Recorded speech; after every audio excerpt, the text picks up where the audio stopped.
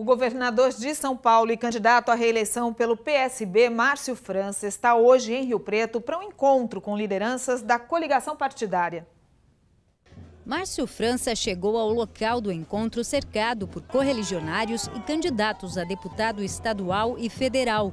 Prefeitos, vereadores e simpatizantes da candidatura do governador lotaram o auditório da CIRP. Durante o discurso, França destacou que tem crescido nas pesquisas, falou sobre as propostas de governo e se mostrou otimista quanto a um segundo turno.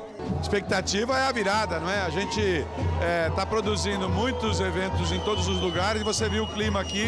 O clima é que ninguém mais quer votar nessas coisas iguais, quer a novidade e a novidade de São Paulo é 40. De Rio Preto, Márcio França vai voltar para São Paulo, já que hoje não tem nenhum outro compromisso agendado de campanha.